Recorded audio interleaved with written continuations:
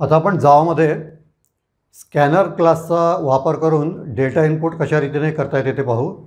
तर जावामध्ये इनपुटसाठी जर आपल्याला स्कॅनर क्लास वापरायचा असेल तर त्यासाठी आपल्याला युटिलिटी नावाच्या पॅकेजमधून तो इम्पोर्ट करावा लागतो.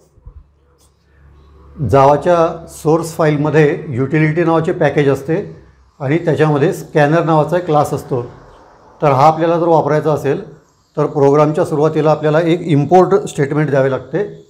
तर ते असे import Java dot util dot scanner आणि सेमिकोलन या ठिकाणी स्कॅनरचा एस जो आहे कॅपिटल आहे आणि बाकी सगळे या ठिकाणी स्मॉल लेटर्समध्ये आहे. तर जावाच्या सोर्स फाईलमधून युटिलिटी नावाच्या पॅकेजमधील स्कॅनर नावाचा क्लास आपण इम्पोर्ट केला. आणि याच्यानंतर शेवटी आपण एक सेमी कोलन देतो आणि इथे आपण डॉट ऑपरेटरचा देखील वापर केलेला आहे. तर ज्यावेळेला आपण हा क्लास प्रोग्राममध्ये वापरतो तेव्हा त्या क्लासचा वापर करण्यासाठी आपल्याला त्या क्लासचा एक ऑब्जेक्ट तयार करावा लागतो. क्लासपासून ऑब्जेक्ट कशा रीतीने तयार केला जातो तो आपण पूर्वीच्या व्हिडिओमध्ये पाहिलेले आहे. तर या ठिकाणी एक्स नावाचा एक ऑब्जेक्ट आपण तयार करू. ऑब्जेक्ट तयार करण्यासाठीचे जे स्टेटमेंट असते ते आपण यापूर्वी पाहिलेले आहे. Scanner x is equal to new scanner. तर हा आहे आपला कन्स्ट्रक्टर आणि ह्या कन्स्ट्रक्टरमध्ये आपण एक पॅरामीटर दिलेले आहे सिस्टीम डॉट इन सिस्टीमचे एस कॅपिटल आहे. सिस्टीम डॉट इन हे जे पॅरामीटर आहे ते पॅरामीटर या ऑब्जेक्टला प्रोग्राम चालू असताना युजरकडून डेटा इनपुट करण्यासाठी वापरले जाते. तर याच्यामध्ये कुठली मेथड्स आहेत? या प्रत्येक क्लासमध्ये जो जेव्हा क्लास डिफाईन केला जातो तेव्हा त्याच्यामध्ये वेगवेगळ्या प्रकारचे मेथड्स असतात. तर हा जो स्कॅनर क्लास आहे त्या क्लासमध्ये कुठले मेथड्स आहेत हे पहा आपण. Next short next int next float तर हे आपण जेव्हा लिहितो जसे उदाहरणार्थ आपण नेक्स्ट इंट जर लिहिले याच्यानंतर युजरकडून जो येणारा इनपुट आहे तो एक इंटिजर असेल असे आपण ते या ऑब्जेक्टला सांगतो. याचा हा अर्थ. तर next short int next float next long next double नुसते नेक्स्ट आणि नेक्स्ट लाईन अशा रीतीने आपण वेगवेगळ्या प्रकारच्या इनपुटसाठी वेगवेगळ्या प्रकारची मेथड्स वापरू शकतो. आता याचे एक उदाहरण कशा रीतीने वापरले जाते ते पाहू. आपण तीन इंटिजर व्हेरिएबल्स या ठिकाणी डिक्लेअर करू. Integer a comma b comma c equals to zero आता त्याच्यानंतर ही जी व्हेरिएबल्स आहेत या व्हेरिएबल्समध्ये आपण डेटा स्टोअर करू. तर तो डेटा कोणता असेल? तर तो डेटा ह्या स्कॅनरच्या ऑब्जेक्टमध्ये युजरने इनपुट केलेला डेटा असेल.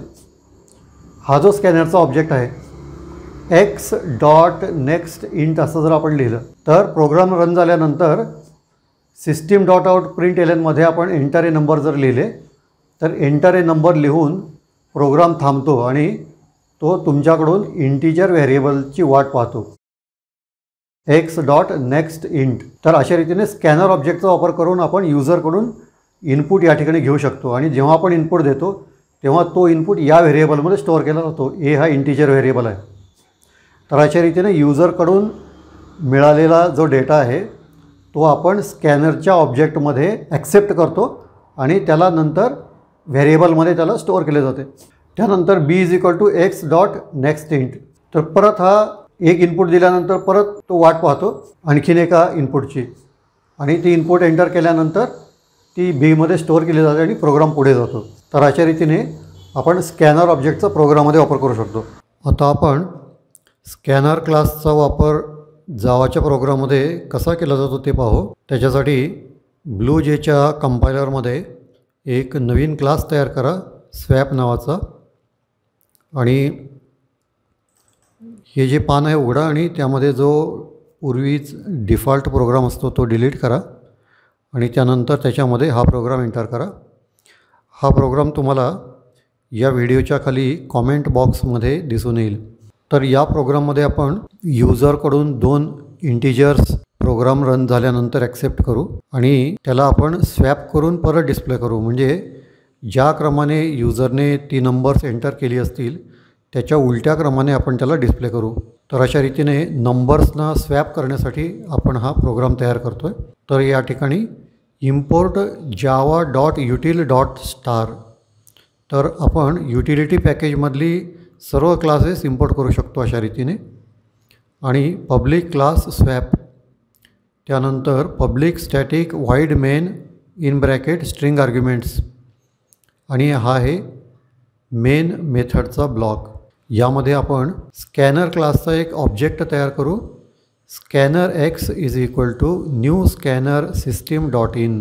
तर या ठिकाणी आपण स्कॅनर क्लासचा ऑब्जेक्ट बनवला एक्स नावाचा. त्यानंतर स्कॅनरमध्ये स्कॅनरच्या ऑब्जेक्टमध्ये ज्या व्हॅल्यूज इनपुट होतील त्यांना स्टोअर करण्यासाठी आपल्याला व्हेरिएबल्सची गरज लागेल. तर आपण तीन व्हेरिएबल्स या ठिकाणी तयार करतो आहे integer a comma b comma c is equal to zero. System dot out dot print l n in bracket in double quotes enter a number. तर ही जी माहिती आहे ती प्रोग्रामचा जो यूजर आहे त्याला समजण्यासाठी आहे. तर एंटर ए नंबर असे स्क्रीनवर डिस्प्ले होईल आणि त्यानंतर प्रोग्राम पुढील स्टेटमेंट एक्झिक्यूट करण्यासाठी थांबेल. पुढील जी स्टेटमेंट आहे एक्स डॉट नेक्स्ट इंट तर या ठिकाणी एक्स हा आपला स्कॅनर क्लासचा ऑब्जेक्ट आहे. नेक्स्ट इंट ही स्कॅनरच्या क्लासमधील मेथड आहे.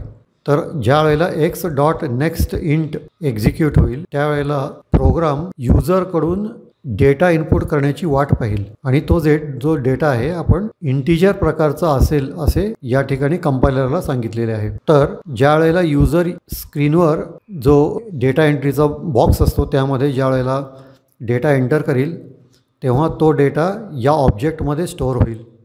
त्यानंतर आपल्याला या ऑब्जेक्टमधला डेटा आपल्या प्रोग्राममध्ये यूज करण्यासाठी आपल्या व्हेरिएबलमध्ये स्टोअर करावा लागेल. म्हणून आपण इथे a is equal to x dot next int असे लिहिलेले आहे. ही झाली एका व्हेरिएबलमध्ये आपण एक व्हॅल्यू स्टोअर केली. आपल्याला दोन नंबर्स पाहिजेत. तर त्यानंतर परत आपण b is equal to x dot next int user जर त्यानंतर आणखीन एक व्हॅल्यू एंटर करेल तर ती व्हॅल्यू बी नावाच्या व्हेरिएबलमध्ये स्टोअर होईल. तर आपल्याकडे युजरने एंटर केलेले दोन व्हॅल्यूज या ठिकाणी मिळतील ए आणि बी. आता आपण याला स्वॅप करू. तर सी नावाचा जो व्हेरिएबल आहे त्याला आपण इनिशियलाइज केलेलं आहे झिरो म्हणून. तर C is equal to A तर एची व्हॅल्यू आपण सीमध्ये एंटर केली A is equal to B आणि बीची व्हॅल्यू आपण एमध्ये एंटर केली. आणि आपण परत बी इज इक्वल टू तर सीची व्हॅल्यू बीमध्ये एंटर केली. तर आपण स्वॅप करतो आहे ए आणि बीची जी व्हॅल्यू आहे तर समजा या ठिकाणी ए आणि बीची जी काही व्हॅल्यू असेल युजरने एंटर केलेली ती आपण उलटतो आहे या ठिकाणी. आणि त्यानंतर ए आणि बीची जी करंट व्हॅल्यू या ठिकाणी असेल ती आपल्याला डिस्प्ले करायची. System dot out dot println in bracket in double quotes the value of A is equal to plus A system dot out dot println the value of B is equal to plus B आणि या ठिकाणी आपण ती value जी आहे display करू. तर हा programme तुम्ही कॉमेंट बॉक्समधून जावाच्या कंपायलरमध्ये तुम्ही पेस्ट करा त्याला सेव्ह करा. सेव्ह केल्यानंतर त्याला कंपाईल करून पहा.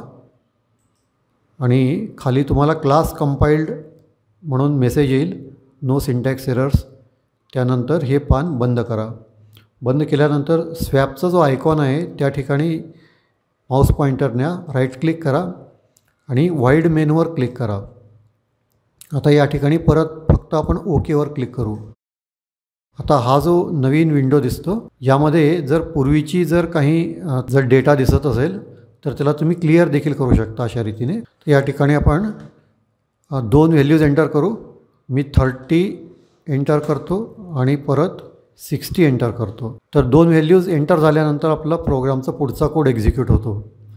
तर थर्टी आणि एन सिक्स्टी एंटर केल्यानंतर the value of A is sixty आणि value of A is thirty तर हे जे नंबर्स आहेत त्यांची जी सिक्वेन्स आहे ती सॅप झाली या ठिकाणी.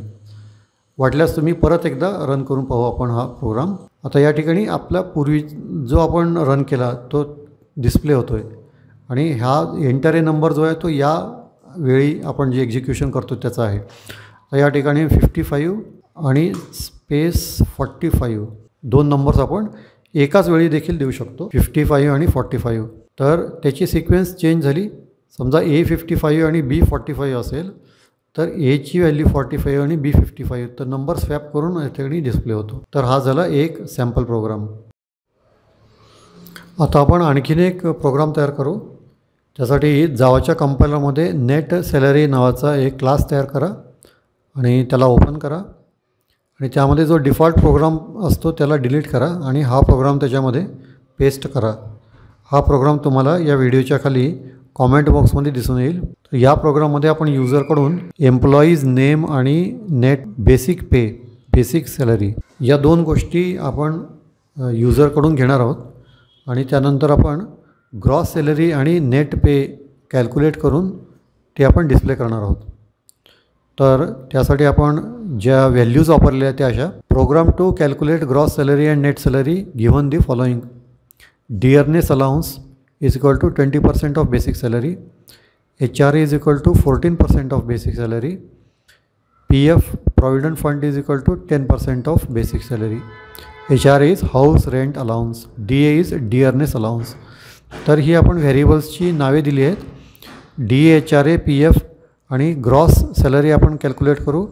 Gross is equal to basic plus D A plus H R A आणि net pay is equal to gross minus P F gross salary minus provident fund import Java dot util dot star तर जावामधील utility पॅकेजमधली सर्व classes आपण या ठिकाणी import केली आहेत.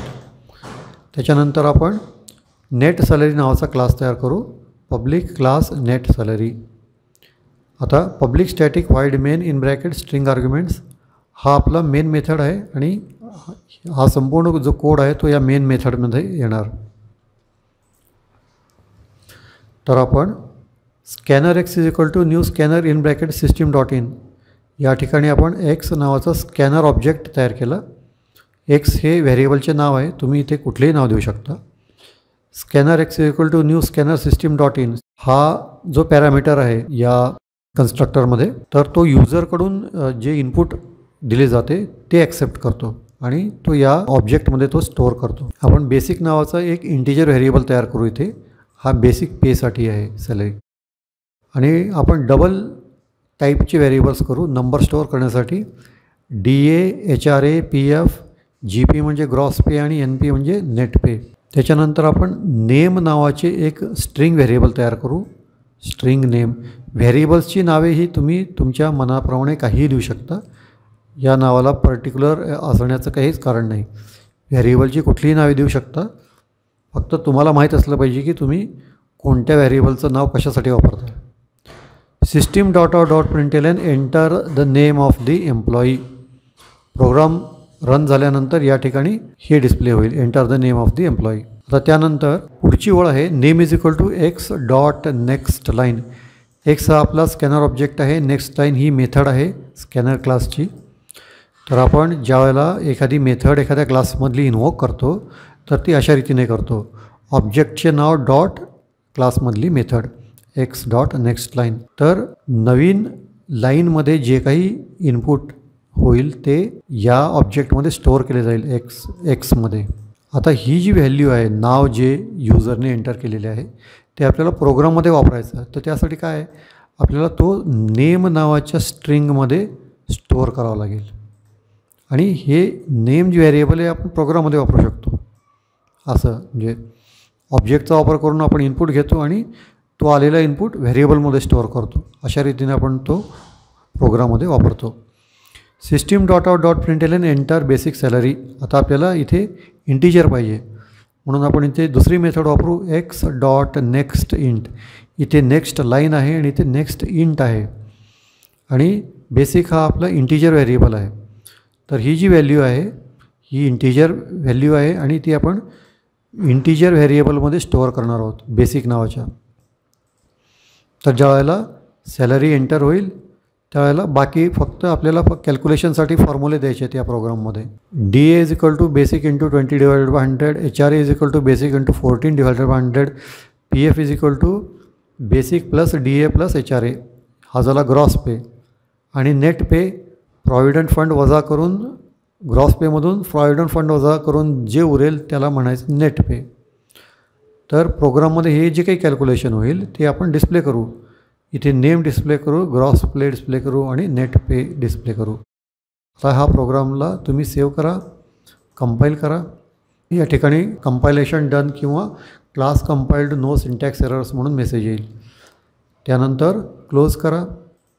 आता नेट सॅलरीचा जो आयकॉन आहे त्यावर राईट क्लिक करा आणि व्हाईड मेनवर क्लिक करा. हा जो विंडो याच्यामध्ये फक्त ओकेवर क्लिक करायचं. आता या ठिकाणी प्रोग्रामला सुरुवात झाली. Enter the name of the employee तर आता येथे तुम्ही एखादे नाव एंटर करा. उदाहरणार्थ Ramkumar P A T I L Ramkumar Patil enter आता आपल्याला प्रोग्राम विचारतो आहे एंटर बेसिक सॅलरी त्यांची बेसिक सॅलरी किती आहे? तर आपण इथे काहीतरी एक नंबर लिहू. आठशे आठ हजार ऐंशी हजार. ठीक N basic salary eighty thousand enter आता आपल्या प्रोग्रामने पूर्ण कॅल्क्युलेशन करून आपल्याला या ठिकाणी आउटपुट दा दाखवतं आहे employee's name is equal to Ramkumar Patil gross pay is equal to एक लाख सात हजार दोनशे रुपये. हा यांचा ग्रॉस पे झाला. आणि प्रॉव्हिडंट फंड जाऊन त्यांच्या हातात किती पडतो? Net pay is ninety nine thousand two hundred rupees. तर अशा रीतीने स्कॅनर क्लासचा वापर करून आपण इंटरॅक्टिव्ह प्रोग्राम्स बनवू शकतो. युजरकडून डेटा घेऊन त्याला कॅल्क्युलेट करून लगेच आपला त्याचा जो आउटपुट आहे तो डिस्प्ले केला जाऊ शकतो. तर हा प्रोग्राम रन करून त्याच्यामध्ये वेगवेगळ्या व्हॅल्यूज एंटर करून तुम्ही त्याला टेस्ट करून पाहू शकता.